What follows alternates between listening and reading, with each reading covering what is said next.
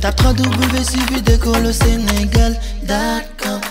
À école au Sénégal, c'est facile, tu n'as qu'à te connecter. Tape école au Sénégal, les leçons sont beaucoup plus détaillées. Bon, on va faire un exercice d'application sur le théorème de la majoration. Exercice d'application. D'application. Bon, on me demande calcul. La limite, calcul, limite quand x tend vers plus l'infini de cos de x sur x. Maintenant, on me demande de calculer la limite quand x tend vers plus l'infini de cosinus de x sur x. Maintenant, pour calculer cette limite, on voit que cosinus de x est compris entre moins 1 et 1. C'est-à-dire cos de x est entre l'intervalle fermé moins 1 et 1. C'est-à-dire moins 1 est inférieur ou égal à 1 et cos de x est inférieur ou égal à 1. Donc cosinus x est entre ces deux valeurs, moins 1 et 1. Dans ce cas, on peut dire cosinus de x, cette cosinus, donc valeur absolue de cosinus de x sera toujours inférieure ou égale à 1. Parce que cos de x est entre moins 1 et 1. Donc la valeur absolue de cosinus de x sera toujours inférieure ou égale à 1. Et on sait que x au carré est supérieur ou égal à 0. Donc j'ai dit calculons la limite quantique en plus l'infini de cos de x pardon, sur x au carré. C'est sur x au carré. Donc je disais que cosinus x est entre l'intervalle fermé moins 1 et 1. Donc ça veut dire quoi? La valeur absolue de cosinus de x sera toujours inférieure ou égale à 1. Parce que le cos est entre moins 1 et 1. Et x au carré est supérieur ou égal à 0. Un carré est toujours positif. D'accord. Donc, comme valeur absolue de cos de x est inférieure ou égale à 1, et x au carré est supérieur ou égal à 1, ceci entraîne, on peut dire valeur absolue de cosinus de x, on le divise avec x au carré, valeur absolue de cos de x divisé avec x au carré, ceci sera aussi inférieur ou égal à 1 sur x au carré. Comme valeur absolue de cos de x est inférieure ou égal à 1, et x au carré est supérieur ou égal à 0. Pourquoi? Parce que cos de x est compris entre moins 1 et 1. Donc sa valeur absolue sera toujours inférieure ou égale à 1. x au carré, c'est un nombre positif. Donc quel que soit x, x au carré est supérieur ou égal à 0. Ceci entraîne que je prends maintenant valeur absolue de cos de x sur x au carré. Maintenant, valeur absolue de cos de x sur x au carré est toujours inférieure ou égale à 1 sur x au carré. Maintenant, je calcule limite quand x tend vers 1 sur x au carré. Maintenant, limite quand x tend vers 1 sur x au carré à plus l'infini, ceci va me donner directement 0 plus.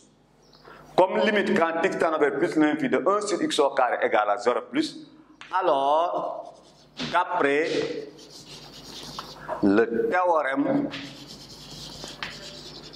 de la majoration, d'après le théorème de la majoration, d'après le théorème de la majoration, donc limite quand x tend vers plus l'infini de cos de x sur x au carré aussi sera égal à 0.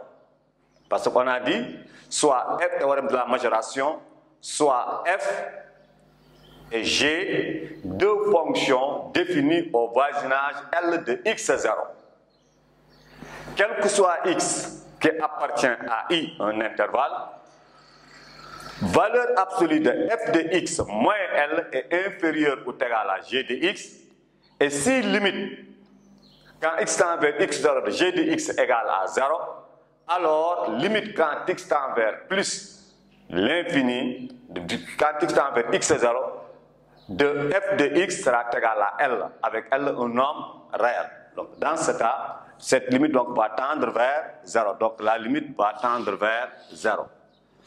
Troisièmement, ou bien petit b, on va voir le théorème, le théorème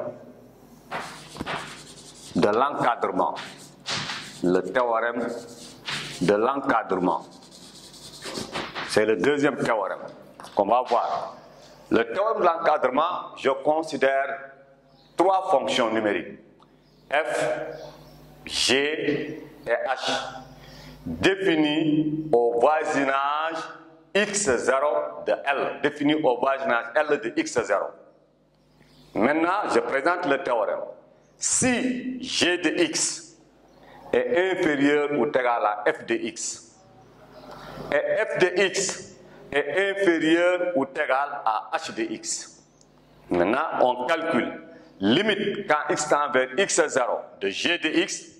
S'il est égal à la limite quand x tend vers x0 de h de x, on trouve L, L étant un nombre réel. Alors, limite quand x tend vers x0 de f de x sera aussi égal à L. Donc, le théorème de l'encadrement, soit f, g et h, trois fonctions numériques définies au voisinage L de x0.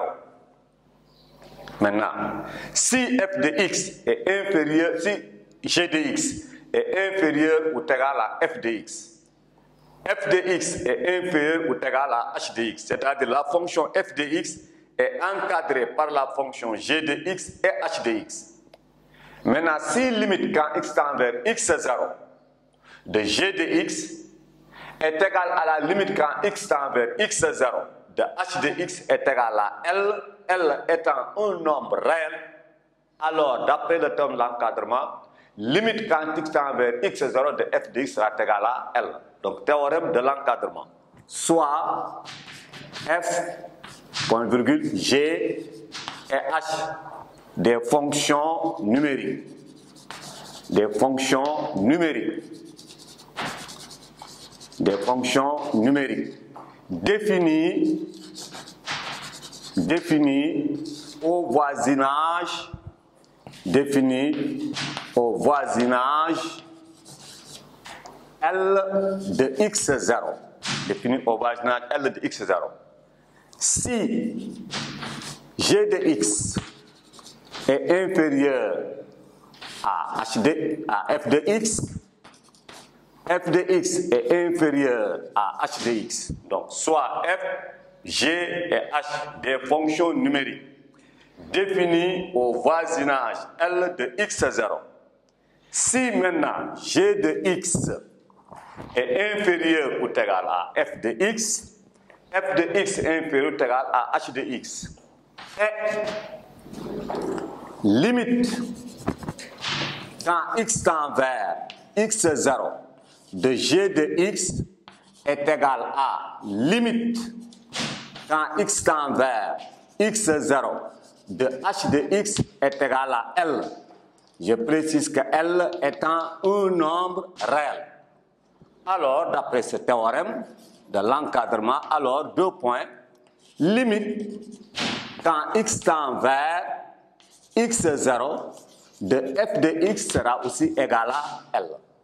Donc, théorème de l'encadrement. On a une fonction f encadrée par deux fonctions numériques, g et h. C'est-à-dire g de x est inférieur ou égal à f de x. f de x est inférieur ou égal à h de x. Maintenant, si la limite, quand x tend vers x0, x0 est peut-être égal à plus l'infini, ou bien moins l'infini, ou bien un réel. Maintenant, si limite quand x tend vers x0 de g de x est égal à la limite quand x tend vers x0 de h de x est égal à L. L, un nombre réel. Alors, d'après le théorème de l'encadrement, limite quand x tend vers x0 de f de x sera égal à L. Donc, on va faire encore de nouveau un exercice d'application sur le théorème de l'encadrement. Par exemple, on exercice d'application, exercice d'application. Calcul, limite, quand x tend vers plus l'infini de 3 moins sinus de x, le tout sur x. On me demande de calculer cette limite. Vous savez que cette limite, pour la calculer, là, je vais utiliser le théorème de l'encadrement. Pourquoi? Parce que cette limite est une limite infinie. Je vais revenir sur les limites. C'est une forme indéterminée. Maintenant, pour calculer la limite, comme on nous a dit calculer la limite quantique en plus l'infini de 3 moins sinus de x sur x, encore une fois de plus, j'ai dit cos de x était compris entre moins 1 et 1. De même que sinus de x est compris entre moins 1 et 1. Donc là, je mets moins 1 inférieur ou égal à sinus de x qui est inférieur ou égal à 1. Parce que le cosinus est toujours entre l'intervalle moins 1 et 1 fermé, les deux. Bon. À partir de là, j'ai au numérateur 3 moins sinus de x. Je vais faire un encadrement. Pour faire un encadrement, d'abord, j'encadre 3 moins sinus de x. Je multiplie par moins 1. Là, si on multiplie par moins 1, on aura 1 supérieur à moins sinus de x supérieur à moins 1. Le fait de multiplier par moins 1, directement, on aura moins 1 sera inférieur à moins sinus de x qui sera inférieur à 1. Parce qu'on a multiplié par moins 1.